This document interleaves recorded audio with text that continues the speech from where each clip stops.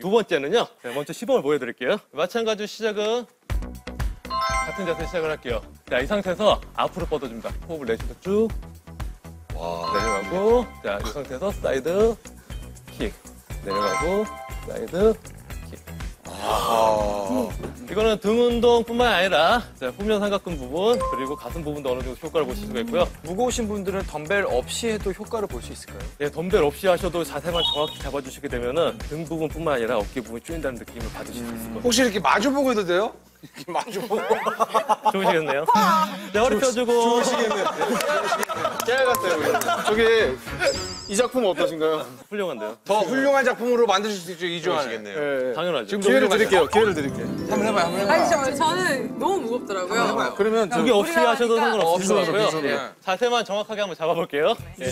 일단은 양쪽 다리 어깨 넓이 정도로 잡아주시고 가장 중요한 키포인트는 어깨선을 곧게 펴준 상태. 이 상태를 유지하면서 내려간다고 생각하셔야 되거든요. 그러기 위해서는 가슴을 살짝 45도 한광으로 내밀면서 내려간다고 생각하시면 돼요. 이 자세를 만들어줍니다. 좀 더 숙여줄게요. 예. 이 상태. 이 자세만 잡는다고 하더라도 어떠세요? 이 몸이 당기는 게 느껴지시죠? 이 상태 유지하면서 무게가 없으니까는요. 팔만 앞으로 쭉 뻗어 올려볼게요. 쭉 후. 자, 이 상태가 되게 되면 어느 부분이 당기세요? 등이요. 예, 등 부분도 당기고 후면 삼각 부분이 같이 당기실 겁니다. 내려주고 자 내린 상태에서 사이드 옆으로 쭉 뻗어주고 천천히 바깥쪽으로 쭉. 예.